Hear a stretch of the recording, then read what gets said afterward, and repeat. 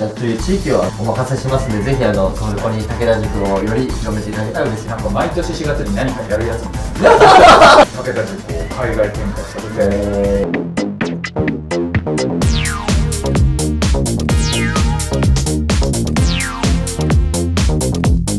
ほうでは始まりました。もちチャンネルさあまさかうちのチャンネルで English channel でこんな並びが見られる日が来るとは。まあ、誰だって話誰だって話ですよね。すいません。本当お邪魔してますので今日はお招きいただいてありがとうございます。とうございとますんでもございません、林塾長はで前過去に出てもらって、はい。武田塾の代表です。どうも。はい、はい、そして竹村さんは初めてですから。そうですよね。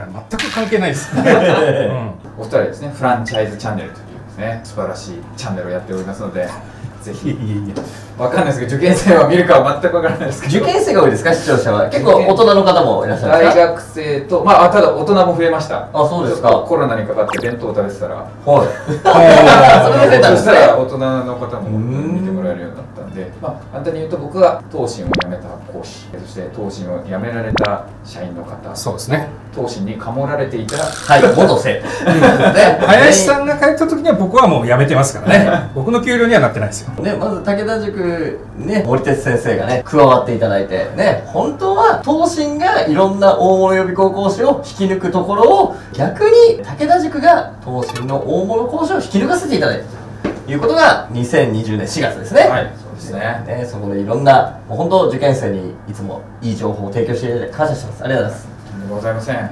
そんな森哲先生がね武田塾英語が課長っていうネタ的なね肩書きがありますけど、はい。それだけじゃなくなったんですよね。そうですね。オーナーになるということで。そうなんですよ。ねね。すすごいすごいことですね。本当に。いや本当東進の先生が武田塾で働いてくれるっていうだけでもすごかったのにさらにお金を出して一校舎持ってくれる。そうです。武田塾チャンネルに出て塾長からお金をもらい今度はそれを 還元する。ねすいませんなんかぐるぐる回ってね。それでより多くの受験生が救われればいいですよね、はい。竹村さんはあの何してる人って思うかもしれないですけどあの東進の講師を増やすお仕事してたんですよね。そうですね。僕は30年前に東進衛生予備校っていうのを全国に作るという仕事がそれでフランチャイズっていうものと出会ってでフランチャイズっていう仕事が好きになってここに至るわけですよ。ね、二人はどういう出会いだったんですかですね、またこれもね、東進の元社員の紹介なんですね。うちの会社は結構元東進でできてるんですよね。ねそうなんです。で、竹山さんは東進でフランチャイズの素晴らしさを知って、何校舎から何校舎のところまでやったんですか？そうですね100から800ぐらいまでやってたんですねわあすごい数ですね、まあ何人もいたんですけどねもちろんね。あの営業マンが一人ってことじゃないですけど。で、ある程度増やしたところで、フランチャイズ関係のあのベンチャーリンクっていうところに転職して、そこで手掛けた、関わったブランドがすごいんですよ。うん、だから最初ガリバーとか牛角とかはいそういうのから、まあ塾関係では一等甲子小学院とかそういうのあったり、はいはい。まあこれなんかもフランチャイズで僕が広げたっていうかまあベンチャーリンクって会社で広げたやつですよね。あすごいですまあ、ね有名のがあとね、タリーズとかね、有名ですよね。そういうのも全部関わって、フランチャイズ詳しくなったんで、えーフリーで活動されてた頃に、また、東進の元社員の紹介で竹村さんと会って、いや、武田塾めっちゃいいから伸びると思うよって言われて、竹村さんの言われた通りにやったら、えー僕8年やって2校舎しか作れなかったんですね。20歳とかで武田塾を作って、8年間で2校舎しかできなかったのに、7年で300校舎ぐらいやったのかな。そうですね。ええわあうん。すごいですあ竹村さんのおかげで大きくなってもりてつ先生をお迎えできるほどの 自分になりました。本当もりてつ先生が来てくれるぐらいの本当に。すごいですね、まあフランチャイズってやっぱすごいんですよね、うん、東進もやっぱりフランチャイズで大きくなった会社なんで、っていう話をこの English English channel で。い やでも、まあいやフランチャイズ英語ですから、ええ。でもフランチャイズ英語はこれはたまに聞かれるんですよね、はい。他にも使うじゃないですか。あの、はい。フランチャイズ権って言った時に、はいはいはいそうですね。まあ多分このチャンネル見てる人確かにフランチャイズも分かんないかも分かんないですよね、昔語源を習ったことがあって僕は,、うん。僕は全く英語なんて興味がないんですけど、一応フランチャイズぐらいはあなるほど。どういうったえら、えそしたらフランチャイズってのはですね英語で言ったらフランクリースピーキングとかいう時の、はいはいフランクに行くらしいんですよね、はいでそれはなんかこうその地域を任せてでフランクになっていいよっていう。そういうところからこうフランチャイズになってるらしいんですよおーイングリッシュチャンネルですね。すごいな。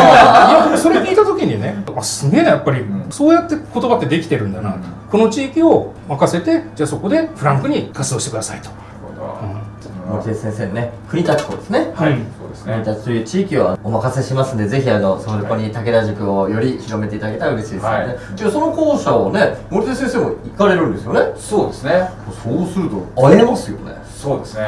ちょっと隣の校舎の人悩んじゃいますね。そうなんですね。そこがねこのフランチャイズの難しいところでね、だけど森手先生がやってくれることによって武田塾全体の認知度は上がりますから全体にとってはプラスですから森手先生に会いに行って武田塾を知ってもらってまた近所の校舎に行かれる方もいらっしゃいますからね。全体にとってプラスだと思う。またこんな大物に加盟していたら嬉しいです視聴者どう思うんですかね？森手先生が武田塾一校舎始めるって言ったらね。どうなんですかね？もう今コメント欄ええってなってるじゃないですか。思いますよ どういうこねとだみたいなことで、だからたまに芸能人が飲食のフランチャイズとかやってたりはするんですけどでもまあこういうこうまあ内部じゃないですか、うん。うん、でよく分かってる方が加盟するっていうね。すごい。このチャンネルのコメント欄もまず武田塾いう時もすごかったですよ。ねそうですね。ええー、みたいな感じですからね。さらにもう一歩踏み込んだ形ですね。はいうん。前なんか毎年4月に何かやるやつみたいな。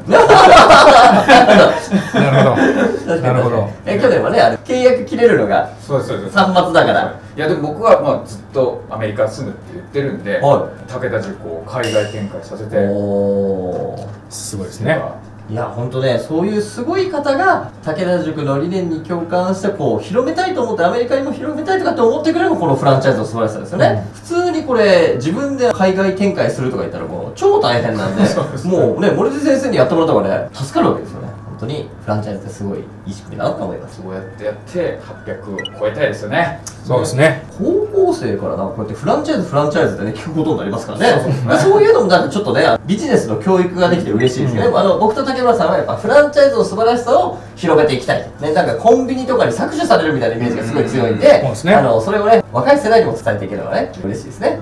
やっぱりこう近くにこういうビジネスがあるって知らないとやっぱり子供たちって先生になりたいとかうん。講師になりたいとかそういうふうに描いてフランチャイズやりたいとかって思う人いないと思うんで、うん。そういうのを知らせていくの大事ですよね。ね、でもまあ令和の虎とかね、そのタイガーファンディングの受験生版とかもなんかすごい、大人のやりとりとかをね、こう見れたりとかね、それも勉強になると思うしね。なんか YouTube すごいですよね。もう本当そうだ投資や融資って言葉を調べた人いっぱいいましたから。なので、うん。ぜひフランチャイズもねだから自分の好きな店を全世界に広げるってことができるのがフランチャイズですからね、ねマクドナルドもね、うん。そうやって広まったわけですから、これができるかもしれないと思ってます、僕はもうできると思って。嬉しいです、本当。こんな大物に加盟していただいて、本当にありがとうございます。どうですでも高山さんその東進と武田塾どう違いました？まあこいろんな点。それは 両方働いてみたいな。いやだからそれはねもう全く社長のタイプが違うから。あなるほど。もうこれトップが両極ですよ、うん